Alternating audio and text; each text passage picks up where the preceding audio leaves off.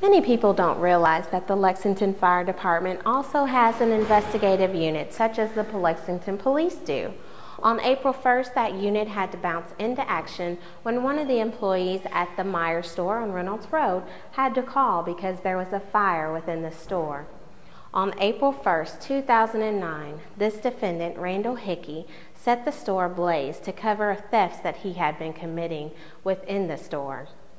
He was in the pool area section. Um, while working all the way across the store, he made his way over there, took a lighter off of a display unit, and set the pool area ablaze. All employees had to go to get emergency treatment because there was a low chlorine level cloud that spread throughout the store.